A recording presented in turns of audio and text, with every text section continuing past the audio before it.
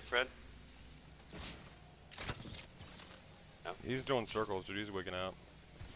I see that. And now he's dancing.